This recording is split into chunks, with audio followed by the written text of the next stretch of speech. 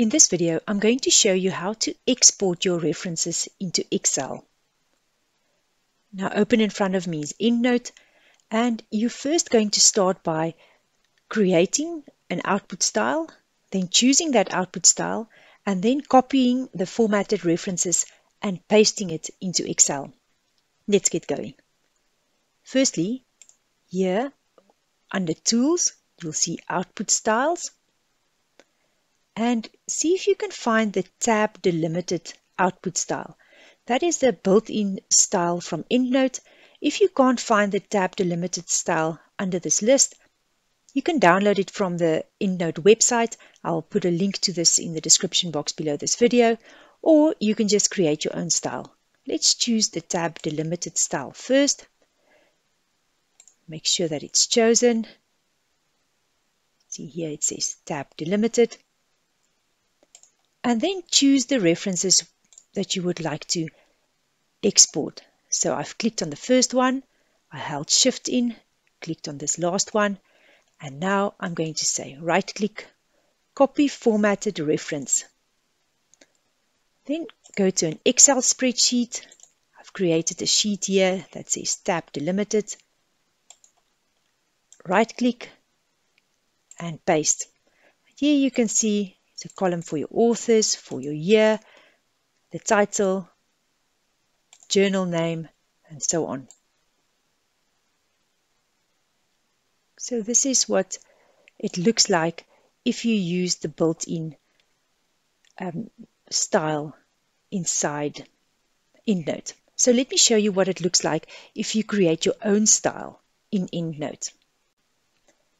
If you would like to organize the information in your Excel spreadsheet differently to what it looks like when you use the tab delimited style of EndNote, you can just create your own style. So you go to Tools, Output Style, New Style, and go to Bibliography Templates. Most of us use the templates of journal articles, being in academia, so choose the journal article reference type, then insert field. Let's say you would like to export the author. After that, you need to insert a tab. Then we would like to insert the year of the publication, insert a tab again, and then you can choose whatever else you would like to insert. I guess the title of the paper is important even the journal name. Here we have the journal name. And after each of them, remember to insert a tab. So after each of them, insert a tab. And one other thing that I think is very important in this case, maybe you would also like to ex export the abstract. Then once you're done, you go to File, Save As, let's call it Excel. Export click save and you can close this box. Now you have to make sure that this Excel export file is chosen. So if you don't see it on this list, go to Open Style Manager, go to Excel, choose your file that you just created, and you can close this box. Now go back to Tools, Output Style, and click on the file you just created. Now you can choose the references that you would like to export. I've clicked on the first one. I'm going to hold shift in, click on the last one, right click, copy formatted reference, go to your Excel file. Here I've created another sheet that says Excel export. Right click and paste. And here you can see we have the authors, the year, the title, the journal, and the abstract, all nicely and neatly organized. So you can give them headings here, and then you can play around with um, sort and filter and all kinds of you know, lovely tools that we have in Excel. And this is the style that we've created ourselves. And if you compare to what it looks like using the tab delimited style of EndNote, I mean, it's quite different, different information exported but at least it gives you the freedom to play around and to decide what information you would like to export.